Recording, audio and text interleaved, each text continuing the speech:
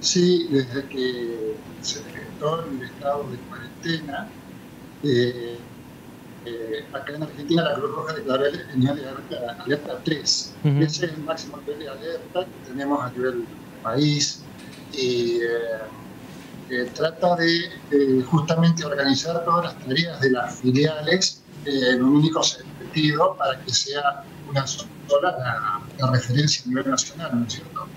Y hoy, ¿qué, es la, ¿cuál es la información o cuáles son esas decisiones que se vienen tomando a nivel nacional? ¿Qué es lo que vienen acatando? Entendiendo que Entre Ríos eh, tiene una realidad distinta tal vez a otras provincias.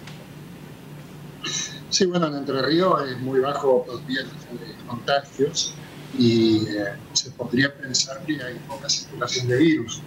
Este, el nivel de alerta 3 significa que Cruz Roja Argentina eh, trabaja con una célula eh, general a nivel Buenos Aires.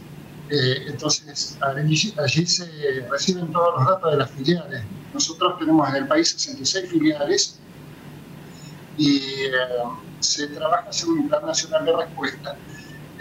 todas las filiales indican a sede central cuál es la actividad que están realizando y sede central las autoriza. Eh, destaco que, y hemos charlado con otros referentes de Cruz Roja, incluso a nivel nacional, eh, eh, siempre el interés de Cruz Roja está pensando o está puesto en aquellas personas más vulnerables, con más necesidades. Un poco ahí están poniendo ustedes la mirada dentro de todo el operativo que se ha montado en el país. Sí, nosotros en Buenos Aires se está montando una oficina de teleasistencia donde se van a tener las llamadas de las personas justamente que tienen eh, problemas, que están en situación de vulnerabilidad, sobre todo adultos mayores. Eh, eso podría estar a disponibilidad en el país eh, en los próximos días, en las próximas semanas, porque la verdad que hay, hay que tener en cuenta muchos detalles técnicos para ello. Actualmente tiene capacidad para 50.000 llamadas el centro de teleasistencia y monitoreo. Eh, a su vez, ese centro eh, eh, se ha montado ahí también una especie de observatorio en el cual se reciben las informaciones de todas las filiales y se filtra la información falsa de la información real, cosa de por redes. Nosotros únicamente hablar de información real y información confiable, ¿no es cierto? Sí, que esto es muy importante, siempre se habla o se viene hablando mucho de la otra pandemia que está relacionada con la gran cantidad de información, en muchos casos no cierto, falsa, que eh, está circulando no solo a nivel país, sino a nivel mundial. Sí, eso es muy importante. Eh, y eh, eso va también en cómo reaccionamos ante la pandemia esta, ¿no es cierto? O sea, las precauciones que tenemos que tener en cuenta y que realmente lo que hagamos sirva realmente para protegernos y sirva para ayudar. Mm. Eh, quiero mm, resaltar que la Cruz Roja de la Ciudad de Paraná también tiene sus actividades este, a lo largo del año que se han visto alteradas producto de lo que está sucediendo con el aislamiento. Em, en ese sentido, ¿cómo se están organizando dentro de los inscriptos, los cursos que ustedes realizan? Em, entendemos que hay también una bueno, una relación directa con lo económico que se está viendo eh, en problemas. Sí, nosotros acá en Paraná, particularmente, eh, tenemos un instituto educativo. Acá.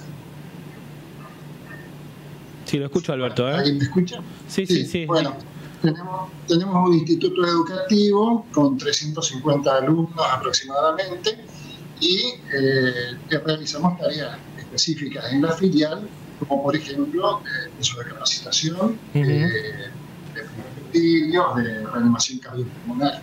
Específicamente en el instituto, desde el primer momento de la, de la cuarentena, eh, nuestros docentes y el rector se han visto abocados a tratar de seguir con, con el, el ciclo lectivo y para ello se ha optado por eh, clases virtuales. Eh, costó un poco implementarlas al principio, pero bueno, ahora están trabajando con Google Classroom y con eh, Zoom para consultas. estamos ayudando aproximadamente un 90% del alumno, lamentablemente no todos tienen acceso a internet fluido, entonces para esas situaciones también eh, hay otras posibilidades, por ejemplo, si algún apunte, algún, amigo también le acerca los videos, en tratamos de, sobrellevar esta, esta situación, ¿no es cierto? También esto, esto ha, hecho que todo el funcionamiento de la filial se haya resentido.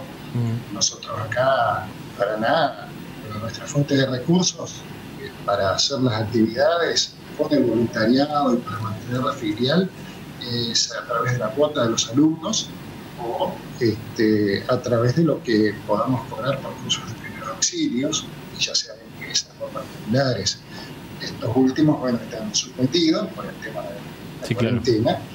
Y, en la parte del instituto, que no es, no es que nos pase a nosotros únicamente, sino que pienso que a todos los institutos de tipo privado también el cobro de cuotas es un poco resentido. No obstante ello, nosotros bueno, hemos suspendido cualquier tipo de recargo en el cobro eh, a los alumnos porque lo, más importante para nosotros en este momento es que el alumno no pierda la regularidad, que no pierda el año, que siga estudiando, ¿no es cierto? Eso, eso es importantísimo para nosotros y tratar de brindarle la mejor calidad educativa posible. ¿sí?